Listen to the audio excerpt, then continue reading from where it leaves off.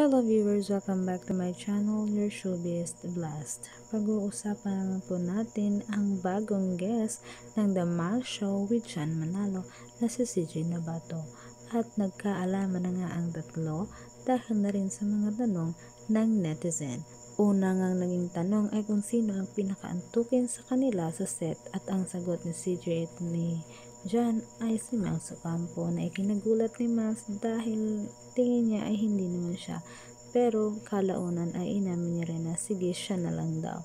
Pangalawa namang naging tanong ay kung sino ang may pinakamaraming ex. At ang sagot ni Miles ni John ay si CJ Navato na ikinagulat rin ni CJ dahil hindi naman daw marami ang kanyang naging ex. Na agad namang dinipensahan din ni John Manalo na Marami nga daw ang CJ pero stick to one daw ito.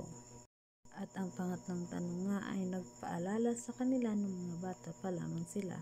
Ang tanong nga ay kung sino ang may nakaaway sa going kulilit at ang sagot naman nilang tatlo ay si John Manalo. Inamin din ni CJ na naging magkaaway sila dati ni John Manalo at isang araw daw iyon. Hindi niya na matandaan kung anong naging dahilan pero binato daw siya ng buhangin ni John Manalo ng panahon na yon at yung panahon na yon ay nasa Boracay sila. At marami pang naging kuntuhan ang magkakaibigan.